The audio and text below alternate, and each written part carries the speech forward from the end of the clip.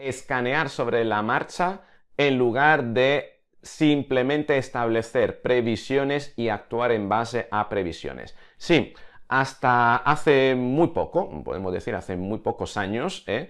Eh, nuestra forma de funcionar y lo que siempre hemos aprendido desde la escuela, incluso en las escuelas de negocio, eh, para tomar decisiones, es realizar previsiones, ¿no? Prever, hacer estudios de mercado incluso, ¿no? Que nos van a decir Em, si algo es merecedor de, eh, digamos, de atención o, cómo ha de funcionar en base a toda una serie de datos que se extraen, ¿no?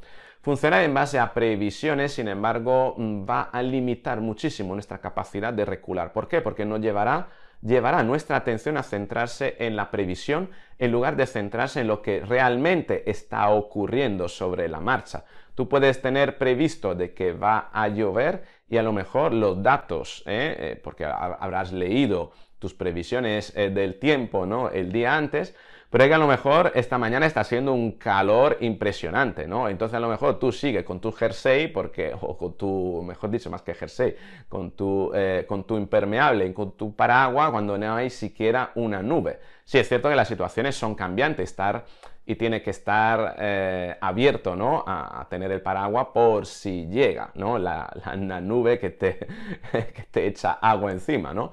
Pero bueno, vale, no te sirve de nada ¿eh? ir con el paraguas abierto ¿no? si no está lloviendo. Eso tiene que ver un poquito esta estrategia. Significa, em, en lugar de, confiar tanto en las previsiones, estar más abierto a lo que está sucediendo en el territorio, a lo que está sucediendo en el campo en el que estás actuando realmente, ¿no?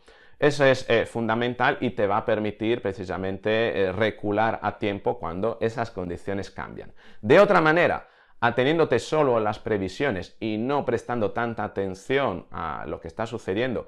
Y fíjate, yo te he hecho un caso quizás demasiado mm, sencillo, como es el de la, de la lluvia, ¿no? Pero esto a nivel de empresa se suele dar muchísimo. Se hace una previsión presupuestaria a inicio de año y esas previsiones no se tocan hasta, hasta el año siguiente, ¿no? Bueno, y que a lo mejor mm, hay que plantearse una revisión cada X tiempo por si hay eh, unos desvíos, ¿no? Por si ha ocurrido algo. Entonces, mantenerte en esas previsiones y, mantener una serie de gastos cuando la situación a lo mejor te está diciendo que tienes que contraer eh, el gasto, bueno, a lo mejor te conviene eh, hacerlo y recular a tiempo en el mes de abril en lugar de esperarte a, diciembre cuando tendrás las nuevas previsiones. Con esto quiero, de esto quiero hablarte cuando se trata de reajustar en lugar de centrarte solo exclusivamente en las previsiones, los planes previos a priori.